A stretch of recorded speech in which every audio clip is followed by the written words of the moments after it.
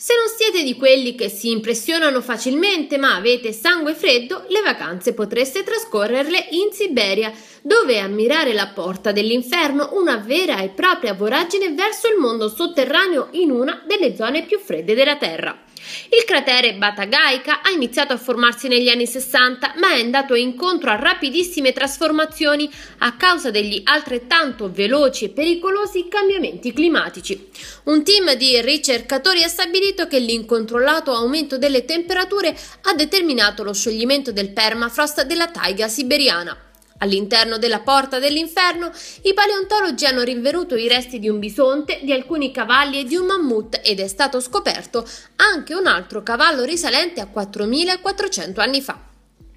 Il professor Giuliano Marton presso l'Università del Sussex ha inoltre stabilito, a seguito di diversi rilievi sul posto, che l'età del cratere è di 200.000 anni. Si estende per un chilometro e scende in profondità per 100 metri. Inoltre la crepa risulta perfettamente esposta e ogni strato è perfettamente visibile.